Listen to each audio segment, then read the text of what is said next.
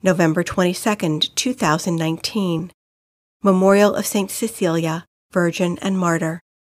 A reading from the first book of Maccabees. Judas and his brother said, Now that our enemies have been crushed, let us go up to purify the sanctuary and rededicate it. So the whole army assembled and went up to Mount Zion. Early in the morning, on the 25th day of the ninth month, that is, the month of Kislev, in the year 148, they arose and offered sacrifice according to the law on the new altar of burnt offerings that they had made. On the anniversary of the day on which the Gentiles had defiled it, on that very day, it was reconsecrated with songs, harps, flutes, and cymbals. All the people prostrated themselves and adored and praised heaven, who had given them success. For eight days, they celebrated the dedication of the altar and joyfully offered burnt offerings and sacrifices of deliverance and praise.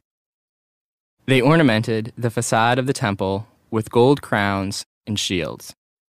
They repaired the gates and the priest's chambers and furnished them with doors. There was great joy among the people now that the disgrace of the Gentiles was removed. Then Judas and his brothers and the entire congregation of Israel decreed that the days of the dedication of the altar should be observed with joy and gladness on the anniversary every year for eight days, from the 25th day of the month Kislev. The word of the Lord. The responsorial psalm. The response is We praise your glorious name, Almighty God.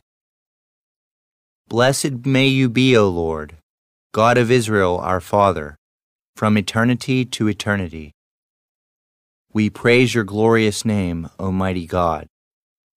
Yours, O Lord, are grandeur and power, majesty, splendor, and glory, for all in heaven and on earth is yours. We praise your glorious name, Almighty God. Yours, O Lord, is the sovereignty.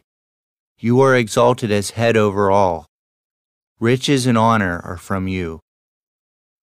We praise your glorious name, O mighty God. You have dominion over all. In your hand are power and might.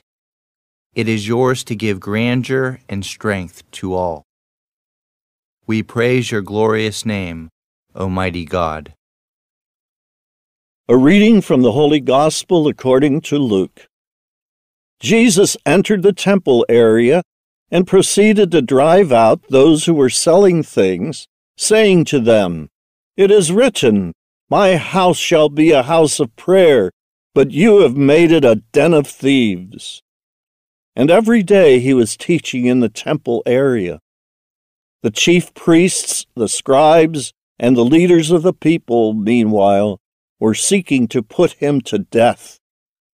But they could find no way to accomplish their purpose, because all the people were hanging on his words. The Gospel of the Lord.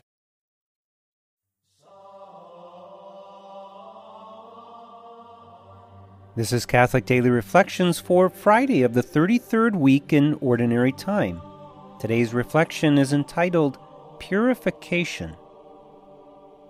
Jesus entered the temple area and proceeded to drive out those who were selling things, saying to them, It is written, My house shall be a house of prayer, but you have made it a den of thieves. This passage reveals not only something that Jesus did long ago, it also reveals something that he desires to do today. Additionally, he desires to do this in two ways.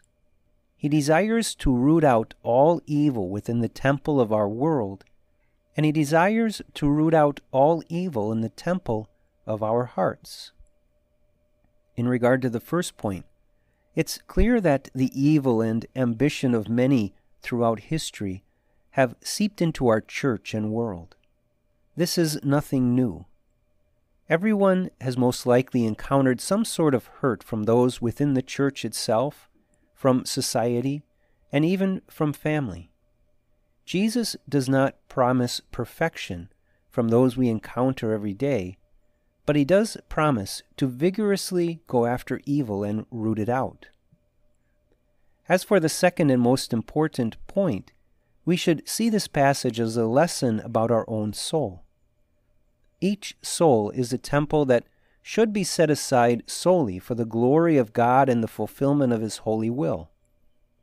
Therefore, this passage is fulfilled today if we allow our Lord to enter in and to see the evil and filth within our own souls. This may not be easy to do and will require a true humility and surrender, but the end result will be cleansing and purification by our Lord. Reflect today upon the fact that Jesus desires to bring about purification in many ways. He desires to purify the church as a whole, each society and community, your own family, and especially your own soul. Do not be afraid to let Jesus' holy wrath work its power. Pray for purification on all levels and let Jesus accomplish his mission. Let us pray. Lord, I do pray for the purification of our world, our church, our families, and most especially my own soul. I invite you to come to me this day to reveal to me what it is that grieves you the most. I invite you to root out in my heart all that is displeasing to you. Jesus, I trust. All the ends of the earth, all you creatures of the sea, lift up your eyes to the wonders of the Lord,